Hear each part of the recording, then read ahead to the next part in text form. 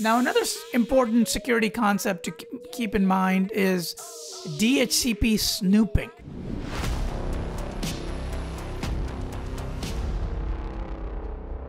So here in this diagram, what we're seeing is we have a legitimate user here, let's say Bob, and he wants to send a DHCP request so his laptop can communicate over the network. Now, you got a couple of bad actors here. This guy to the left, what he's doing is he's sending thousands of DHCP requests to overrun the DHCP server. And then there's another guy at the bottom of the screen here, he's sending bogus DHCP responses.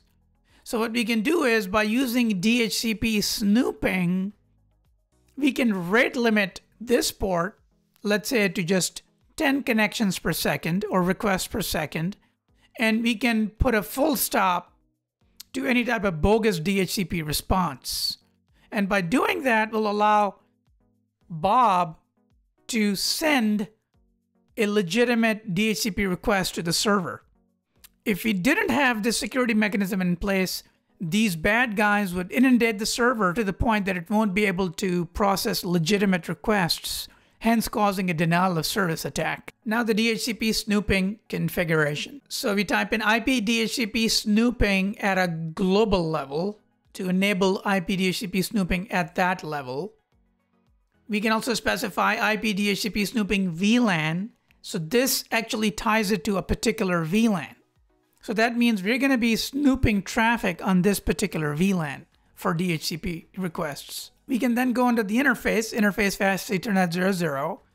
Once you're under the interface configuration mode, we can type in IP DHCP snooping trust. If we trust that port, let's say if a DHCP server is plugged into that port, this command would allow DHCP server to behave as a normal DHCP server, which means we completely trust this port. Or we could say we don't really trust this port. And if it's an access port, we don't know who's going to plug into it. So we can say IP DHCP snooping limit rate 10. That limits the total number of DHCP requests to just 10. Anything beyond that would be considered a violation of this security policy. Now, one important note to keep in mind is if the port goes in error disabled state due to exceeding DHCP snooping rate limit, there are two optional commands you can configure for auto recovery. And here they are. The first command is at a global level, you can say error disabled recovery cause DHCP rate limit. And what you can do secondarily, you can define the error disabled recovery interval. So you can define after a certain amount of time that port can be recovered automatically without any manual intervention from the network operator. The next thing we want to look at is dynamic ARP inspection. But before we get into the dynamic ARP inspection concept, what I want to define is a couple of different type of attacks that ARP inspection protects against. And what we have is man in the middle or an ARP poisoning attack. Now, this is something we have already discussed, but check this out, guys. We got this bad guy here at the bottom of the screen. He's an attacker. Look what he's doing. We got this gateway up here. So what this bad guy is doing, he's sending a gratuitous ARP up to the gateway claiming to be 10.1.1.50. And it's saying to get to that, get to the MAC address of B. Now, the bad guy has a MAC address of B, but check out bad guy's IP address is 25. Why is it telling the gateway to connect to 50? Well, it's because it's trying to impersonate this victim. A legitimate employee in our company is now being victimized because this attacker is impersonating to be them by injecting a source of .50 into that packet that they just generated, the gratuitous ARP packet to be specific. So the gateway, their ARP table is going to get poisoned because now they're going to say, in order for me to get to 10.1.1.50, which in this case is the employee sitting here to the right, that traffic is going to be sent to MAC B. And B is the bad guy. So little did the gateway know that it's actually sending traffic to the bad guy. And then look at this. This bad guy also generated another gratuitous ARP, but this one was sent to the victim machine saying, hey, by the way, if you need to get to 10.1.1.1, which happens to be the gateway, come to me, MACB. So it's making, it's fooling both the gateway and the victim into believing that bad guy is the one they need to be talking to. Hence the reason it's called man in the middle attack because now that bad guy is sandwiched and is sitting in between the traffic flow.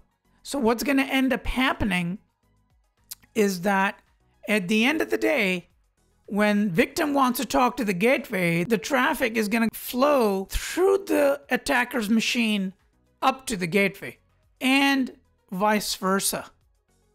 So as you can see here, attacker is in the center of this flow and the attacker can now snoop this traffic and using something like Wireshark and some other sophisticated tools completely deconstruct everything that's going on in this network, at least the communication flow between this victim and the gateway. So this is a pretty nasty attack. And to address it, we have a feature, security feature called dynamic ARP inspection. And let me explain how we can configure it. So here's how we configure dynamic ARP inspection. Initially, we go to the global configuration mode and type in IP ARP inspection VLAN 10. Now what that does is it enables ARP inspection for that particular VLAN. The next thing we do is we type in IP DHCP snooping.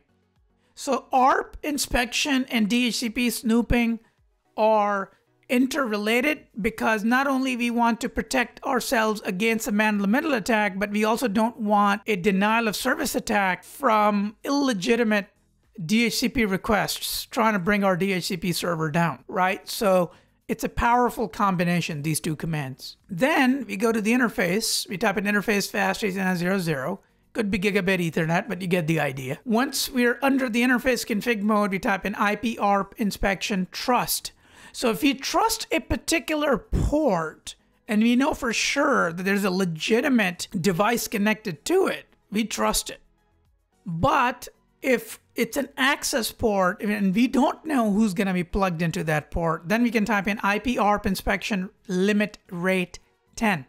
This limits the total number of ARP packets to 10 per second. Important note to keep in mind, if the port goes into error disabled state due to exceeding DAI rate or the dynamic ARP inspection rate limit, here are the two optional commands for auto recovery. You type in error disable recovery cause ARP inspection. That's a global config command.